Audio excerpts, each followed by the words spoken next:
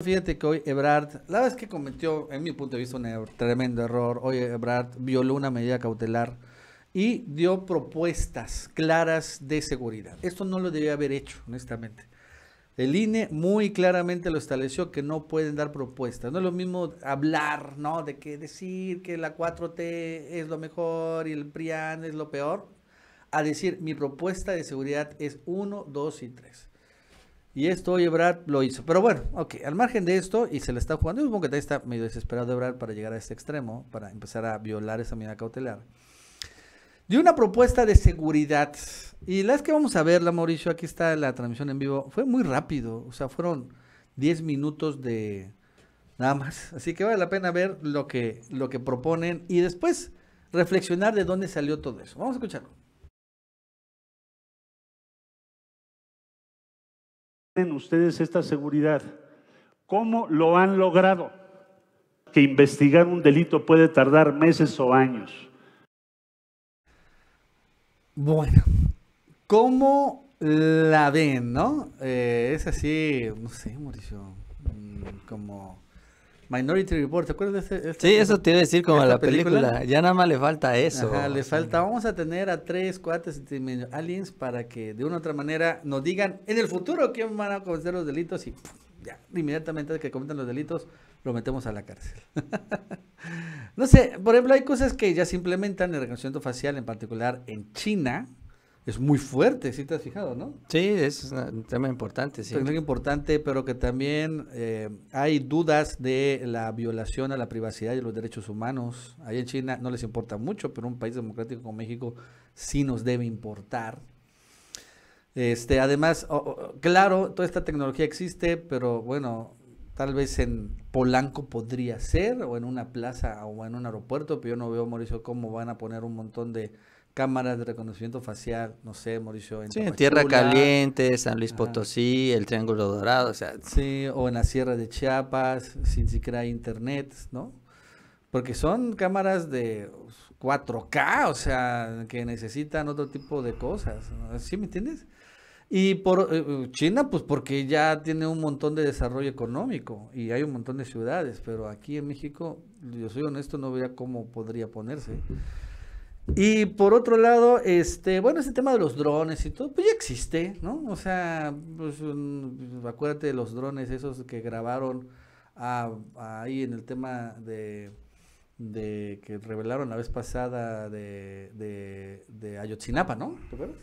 Sí, sí, sí, los de la. Marina, sí, sí. Eso ya tiene rato, o sea, e- eso pues no es una algo nuevo, está bien, digo, ¿qué puedo decir que está mal? No, pues está bien.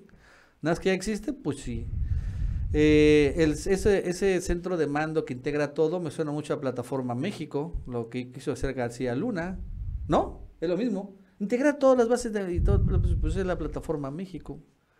Y no funcionó muy bien que digamos. Pero era lo mismo, ¿eh? Integrar todo. Y hay otra cosa que yo no veo cómo va a funcionar. Por ejemplo, uno, que van a localizar con tecnología y cámaras a quienes estén armados. Eso no, según yo no se puede. Según yo no se puede, sino es una tecnología que implementarían de entrada en los aeropuertos. Y hasta donde yo me acuerdo tienes que pasar por scanners o por lo menos por el arco de, el, arco de metal. O por un escáner, ¿no? El que da, que da la vuelta. O ahorita hay uno en la IFA en donde, bueno, te pones como por atrás, te sientas. Es como, ¿sabes cómo es, no? Es, es, o sea, te, te, vas un poco por atrás en un, como en un- una tabla atrás y ya.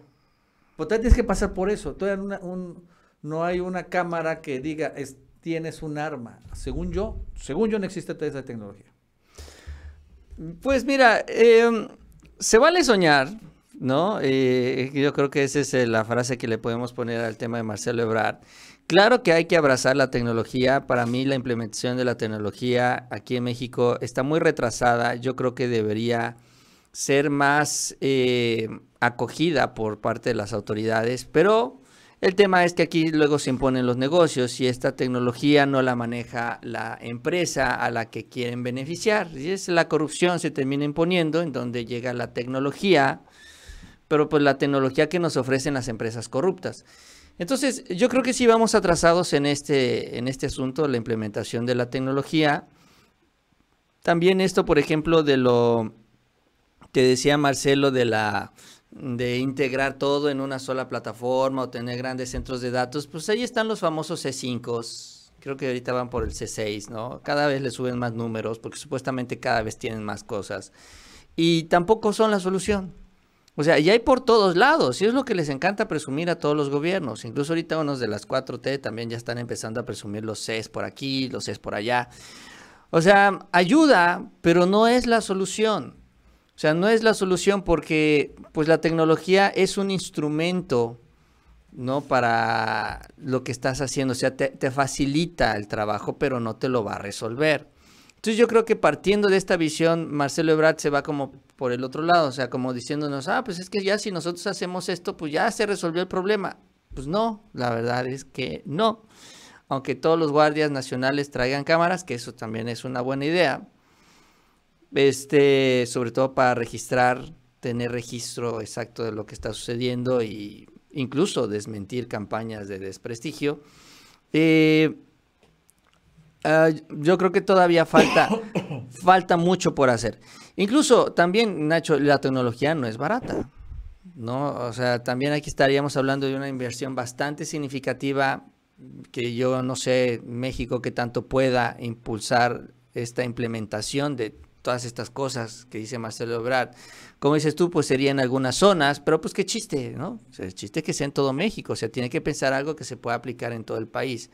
Entonces sí hay, mm, es, es un sueño bonito, ¿no? Es un sueño bonito, es un sueño que ojalá se pudiera, se pudiera implementar, pero pues estamos muy lejos de ese mundo que pues que saca Marcelo, ¿no? Es un, un, mundo de fantasía en donde México puede ponerse al nivel de las grandes, eh, de los grandes países avanzados tecnológicamente y no lo estamos, o sea, no, también hay que, hay que trabajar con lo que tenemos. Y de ahí, bueno, vamos creciendo para ir teniendo más cosas, ¿no? Para que México, mientras más crezca México, mientras más ingresos generemos, mientras fortalezca la economía y el gobierno pueda recaudar más impuestos, pues podemos hablar de este tipo de cosas, pero hay que empezar en la realidad, ¿no? No hay que abstraernos de ella.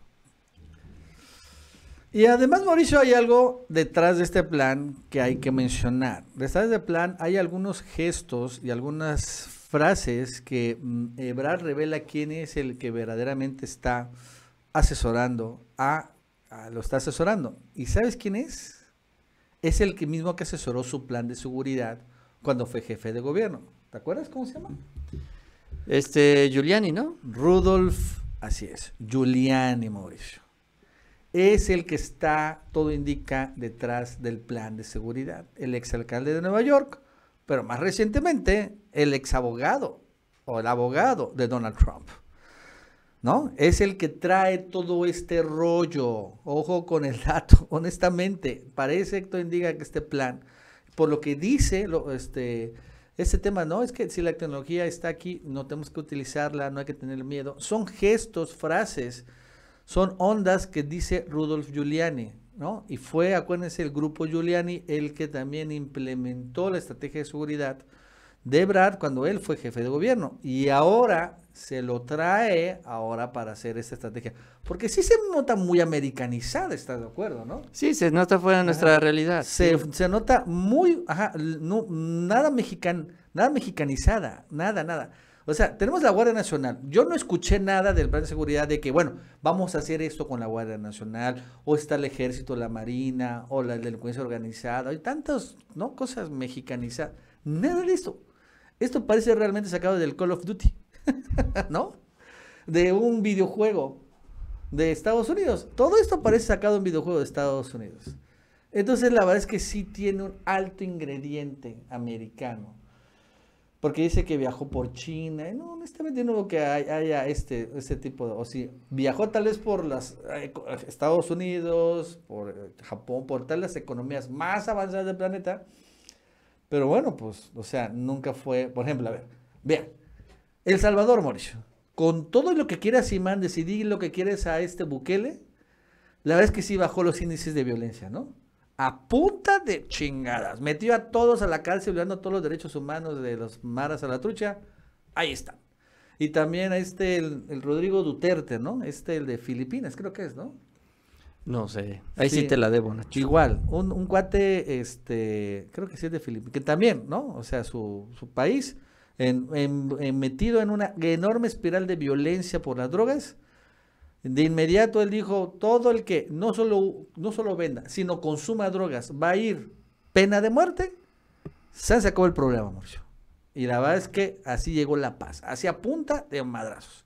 No es, no es mi, mi, mi, mi- no sería lo que, lo idóneo en mi punto de vista, pero bueno, es una estrategia distinta. Nada que ver con este plan realmente muy sacado de un videojuego. Así lo vería yo. Está muy padre. O sea, si funcionara todo esto, estaría chingón. Sí.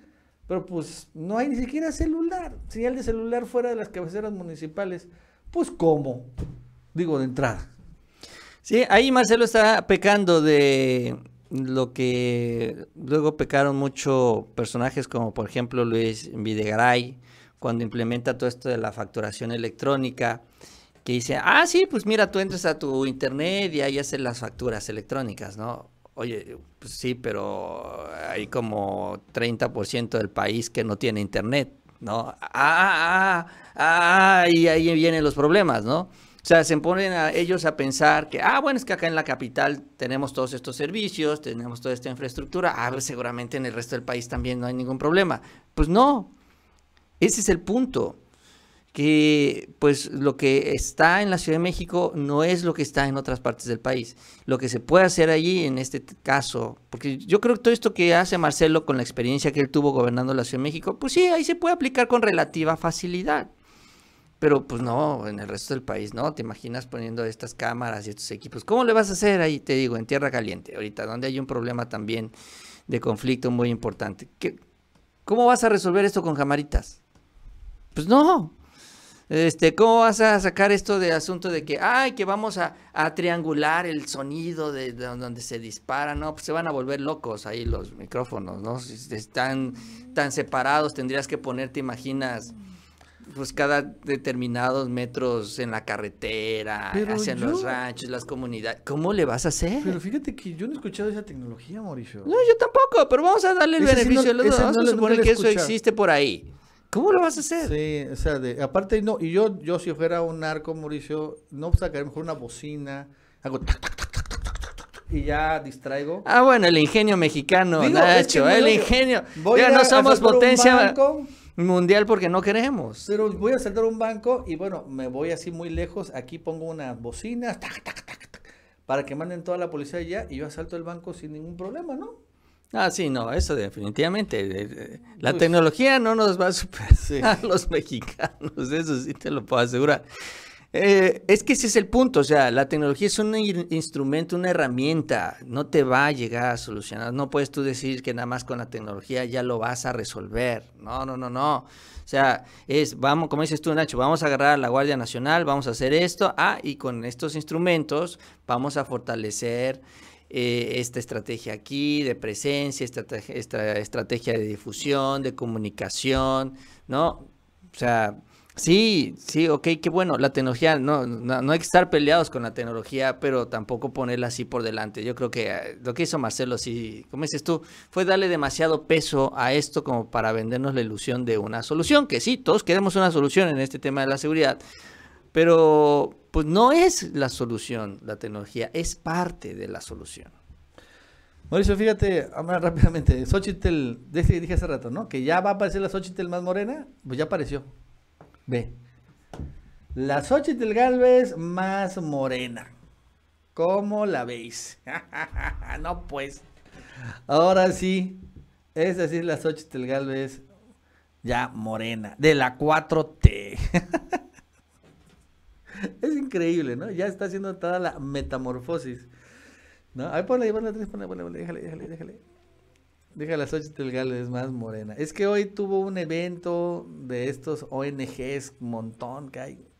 Y bueno, Xochitl iba a llegar a ese evento, pero bueno, mandó este video en donde ahora sí aparece rodeada pues de pura gente morena y ella también, ¿por qué no? es increíble. La metamorfosis, señores. ¿no? Así están tan desesperados que él tienen que decir que Xochitl es la verdadera encarnación de la 4